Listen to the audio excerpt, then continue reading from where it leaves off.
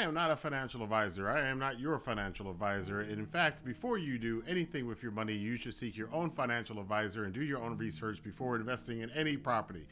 Yes, you have heard that from pretty much every finance YouTuber available out there. And in the last week, we found out why that statement is very, very important. Welcome back to Wrestling with Finance, the YouTube channel for people who have wrestled with finance in the past and look to do better with it in the future. And never has that been more appropriate terminology than this past week. So if you're not up on the whole FTX thing, I'm sure you may have probably heard about it. If you're looking at this channel or looking at this video, you probably have. But the TLDR on it is FTX was one of the biggest crypto exchanges in the world. They had a competitor by the name of Binance. Binance kind of called them to the carpet. Is this is really a summarizing way of putting it uh, as, as to their financial backing for the cryptocurrency exchange that they were running on FTX and also by extension FTX US and also by extension some other companies that they bought out like BlockFi, which I will get to in a moment. But the problem came around when we kind of looked into FTX's financial statements and what was really backing all of this money, billions of dollars going through its exchange and found out that in fact it wasn't as solid as they claimed to be. Sam Bankman Fried, Freed, boy, that's a play on words.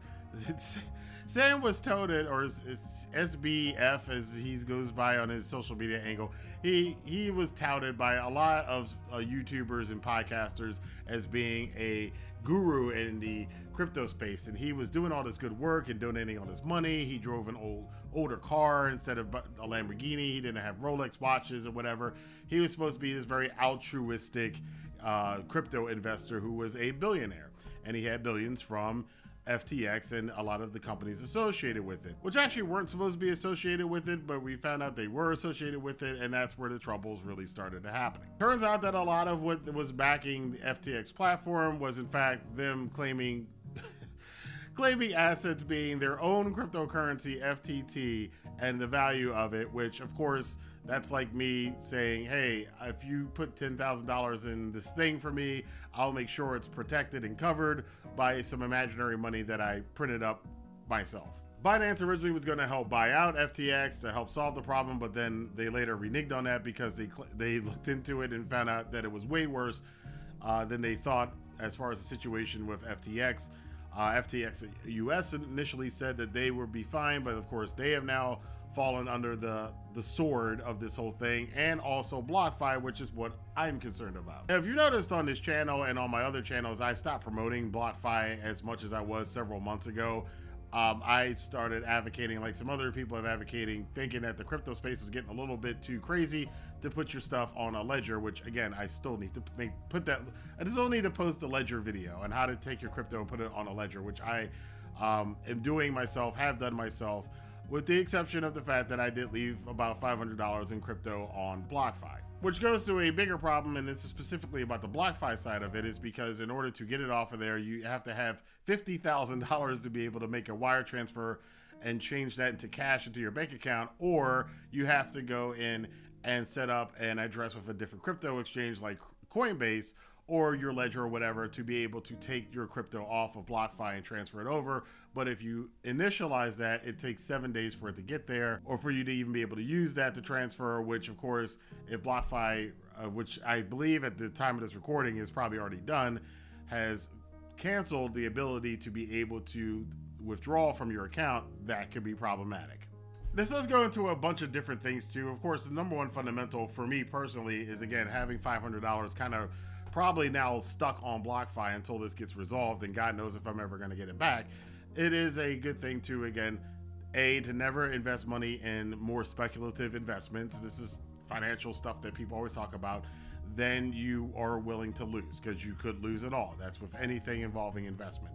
You normally don't expect to lose it all, but the possibility is always there. And as we see, when you have fraudulent people in the space, the possibility becomes a reality. The other thing is, I would if I was you and you are somebody who lost money on FT or has money stuck on FTX or FTX US or BlockFi or any of these places, to turn on your Google notifications for those specific keywords so you are aware, because there's likely going to be lawsuits. Possibly, I would I would be surprised if there weren't class action lawsuits in order for people to get their money back Uh, which also begs the question is where all of this money go to? Well, FTX was involved with a lot of promotions. In fact, if you watch the Super Bowl, you probably saw where millions and millions of dollars went to to Tom Brady and to a lot of other celebrities and a lot of billboards and a lot of people on YouTube. Now, I'm not going to get into the dunk party that's going on right now with the big time finance YouTubers because everybody who's a mid to lower level finance YouTuber has been dunking on them. And I could follow with the crew and go, yeah, I never supported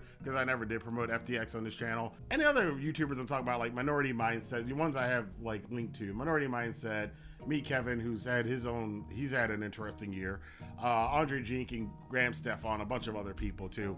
Uh, but a lot of those people, they also had tens of to hundreds of thousands of dollars in FTX, and they themselves probably lost a lot of money. So, uh, on one hand, it is a thing to kind of you know wag a finger at them and go, man, they should have known better than to do this, and they were just chasing the money. But they also put their money where their mouth is because a lot of them, as we all know, had their money in FTX and might possibly be losing a lot of it.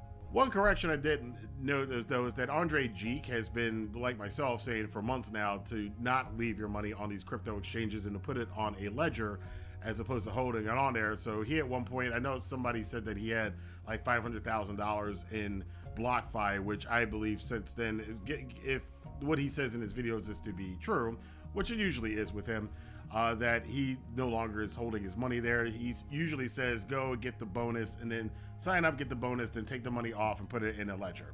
So I don't know if Andrei Jikh, I don't know his personal finances. Uh, as for the rest of them, a lot of them look bad. There's a lot of egg on a lot of people's faces. There's a lot of egg on a lot of finance YouTubers' faces because any of us who have affiliate links or who have partnerships with any of these other companies, eventually you're going to get hosed. CoffeeZilla is like he's the big one benefiting from all this because he's his channel is really not a financial education channel.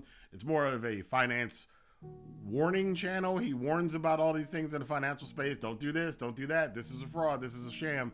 And now he's just gleefully, happily, you know, dunking on everybody along with a bunch of other YouTubers who I've never heard of before. And of course, now they're all coming out because this is a big story and they're all making ad revenue on dunking on the guys that were bigger in the space. Again, I'm not going to do that because these things have a way to kind of come back around, and all the people who are gleefully dunking now, you might be caught up in some shit in the future yourself. So I would be kind of careful about all the gleeful smiles and the happy, oh, screw these guys kind of thing. As far as the uh, the big name finance YouTubers and what they're going to do, do I think this is going to affect them that much? Maybe, maybe not. Uh, I think the effect I'm really worried about is on the cryptocurrency market itself, which is tanked completely again this year because of all this stuff with FTX and this Sam Bankman fraud, Freed, Fried, whatever his name is. This guy, again, even though I didn't sponsor FTX, I didn't promote FTX on this channel, I know a lot of people had their money tied up in it. I never had any money in on it, so I can only imagine people who had, you know, a thousand dollars, ten thousand dollars, fifty thousand dollars, a hundred thousand dollars on these platforms, and now all that money is, who knows? Um, somebody's going to be in a lot of trouble, and I don't know uh, how much trouble any of the YouTubers are going to get into it. But I do think that uh, a lot of people who were involved with FTX might have some issues with it. But I think this all really comes down. I'm not blaming the YouTubers. I'm not blaming Tom Brady. I'm not blaming whoever that the actor was that was in the Super Bowl commercials. I'm not blaming Kevin O'Leary or BlackRock or any of the other big name, well established, very intelligent finance people who were invested in FTX for this. I'm not blaming any of the politicians who were taking money from FTX for this. This is really on Sam Bankman Fraud, Freed, Fried, Fro, Fum, whatever his name is. This is really on him and him running this scam on a lot of people. And what I really get out of all of this personally is that, you know, to be a lot more cautious about the affiliate links that I use. Um, I still use Coinbase. I'm kind of rethinking that right now, even though Coinbase is another group that's celebrating right now. And God knows in two months we could find out something about Coinbase that goes down the toilet. So I don't know if they really should be rah rahing this right now. But um, I'm still using Coinbase for the long term, the short term to buy things, and for the long term, moving all of my crypto off onto the ledger. I did move all, a lot of my crypto off of Coinbase today as well. Um, I, again, I'm not a financial advisor, so I can't advise you what to do, but I can tell you what I'm doing. Um, I don't, and I never use Robinhood or Webull or any, any of those exchanges for crypto. The main thing that I think I'm going to stick to from here on out, despite how much interest somebody's going to offer for you storing your crypto on their platform, whether it's Vault, which I've talked about before, or any of these other places, is to basically just take that money once you can remove it and move it off of those platforms. And ultimately, this is very bad for the crypto space because I think there are a lot of people who are going to be shocked out of the crypto space, which will probably prevent it from growing. So, thanks a lot, SBF, whatever the hell this dude's name is, and everybody else who uh, is involved in these kind of fraudulent things or wants to try to get an advantage on your competitor, but then wind up tanking the whole crypto space in itself anyway. Uh, you guys did a great service. I remember having a conversation, it was a year ago when I went to Vegas because I'm about to go back to Vegas again this year at the same time. And I had a conversation with the taxi driver talking about Bitcoin, and he thought it was a scam and everything else. And I'm like, ah, I don't know if it's a scam. I mean, there's stuff to be in there, but you have to be mindful. And I remember saying this you have to be mindful when the time is to get out. And usually, when things are calm, it's the time to get out. You don't want to wait till something like this happens and then try to get out of it. But the biggest thing to be concerned with is that there are a lot of people who are very who have a lot of money tied up into the stuff. Again, probably shouldn't have done that. Should have diversified a little bit more, but that doesn't, you know, this I really don't think it's a time to go, haha, I told you so's. I think it's more of a time to be concerned about a lot of people who have a lot of money that they're probably they might wind up losing or at least it's going to be tied up and inaccessible to them for God knows how long. So keep that in mind while you're out here. Be humble out there, guys. The financial space is a, again, this is why they say it's always risk. There's always risk involved with this stuff.